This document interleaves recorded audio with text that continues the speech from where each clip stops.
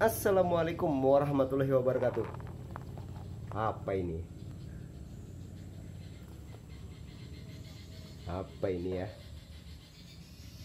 Rabah waluh. Waluh rabah. Emangnya kalau waluh rabah berarti waluh, waluh itu pohon ya?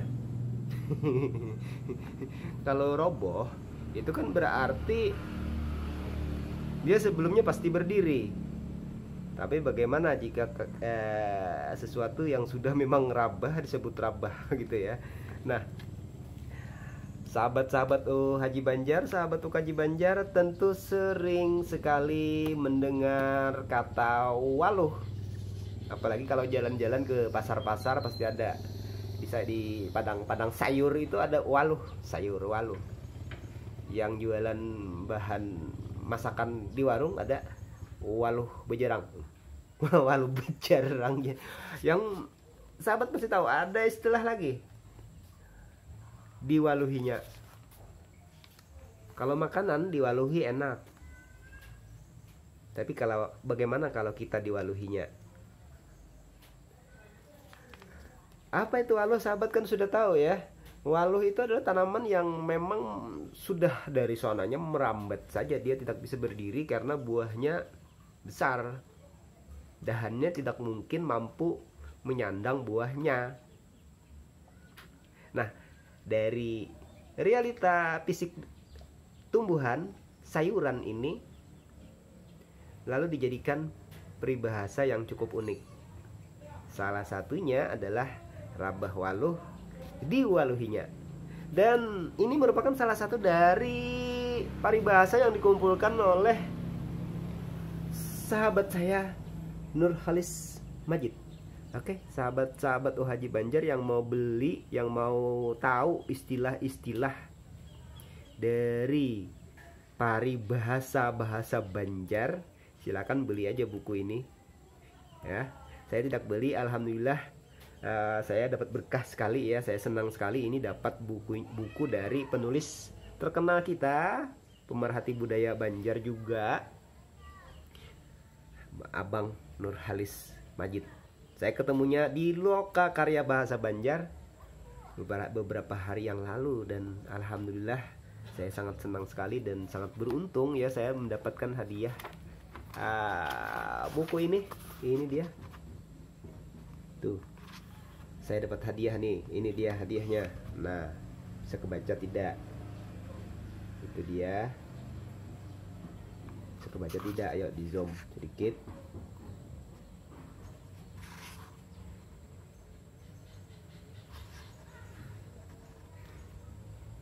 Oke, sahabat-sahabat.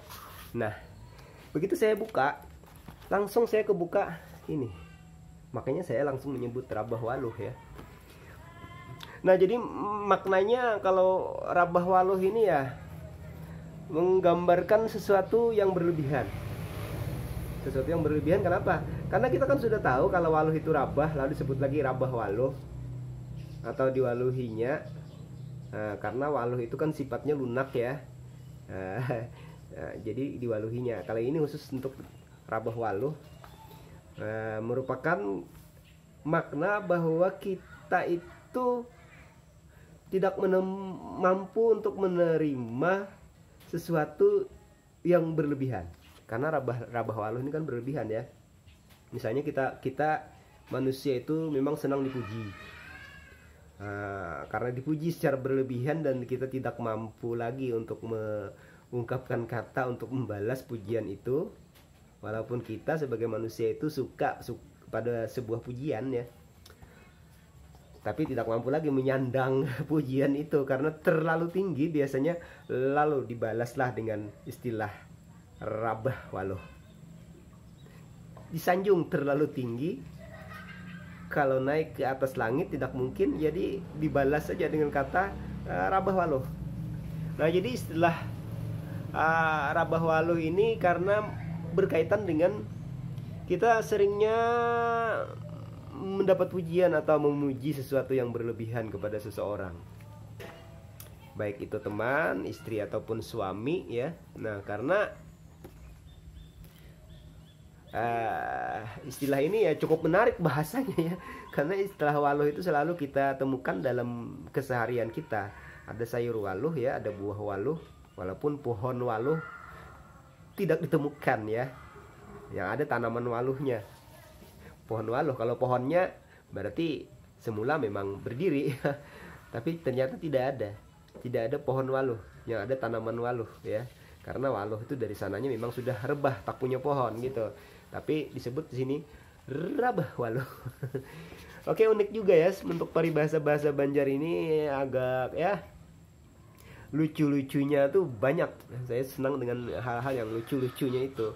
Sebenarnya kalau istilah lain ya untuk istilah ah, rabah waluh ini ya uh, istilah lainnya yang lebih sering kita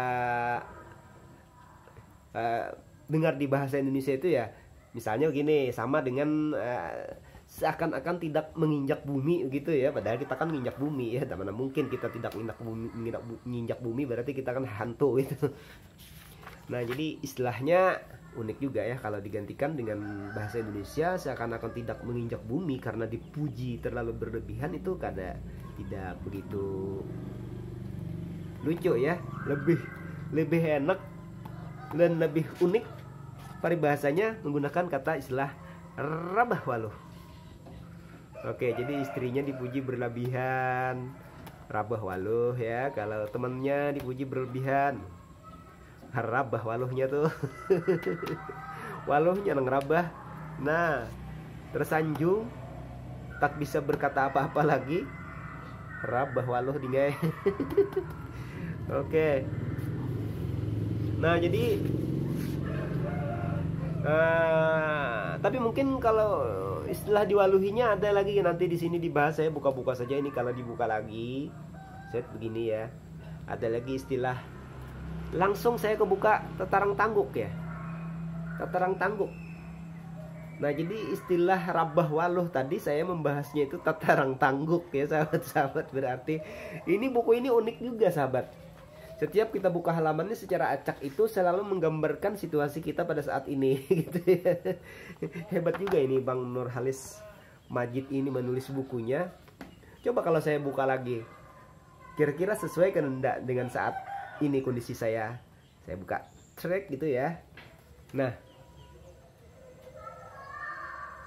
Iya kandang ya babi. Iya kandang iya babi ini ah, maknanya saya belum oh, tatarang tatarang tangguk juga ya karena saya kebuka tatarang tangguk tadi akhirnya saya jadi tatarang tangguk apa makna dari iya kandang iya babi. Oke sahabat. Nanti akan saya bahas. Kalau sahabat setuju nanti akan saya babar satu persatu kosakata uh, paribahasa bahasa Banjar yang disebutkan oleh Nur Halis Majid di dalam bukunya ini. Yang setebal 401 halaman.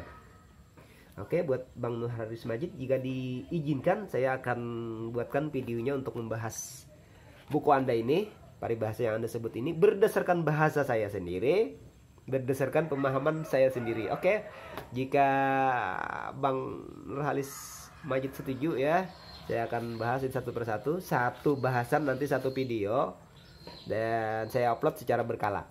Oke, bagaimana? Dan sahabat-sahabat juga bila setuju, like, komen di bawah. Maka saya akan bahas ini satu persatu. Menurut versi saya ya, dan bagi sahabat yang ingin apa makna sebenarnya di dalam sini, beli aja bukunya. Beli aja buku Paribahasa Bahasa Banjar yang berjudul Paribahasa dan Ungkapan Banjar ya yang berjudul yang diwakili oleh judul paribahasanya itu tatarang tangguk ya lebih parah lagi kalau kita tatarang upih sama sama sekali tak bisa melihat kalau tatarang tangguk masih bisa melihat di balik lubang-lubangnya gitu ya oke terima kasih sahabat Haji Banjar jangan lupa dukung terus dan beri sarannya apakah saya membahas ini dengan model apa tapi kalau minta dengan edit video yang lucu-lucu saya tidak bisa saya hanya bikin video langsung upload tak bisa edit-editan ya karena saya tak punya waktu untuk mengedit. Oke, terima kasih. Assalamualaikum warahmatullahi wabarakatuh.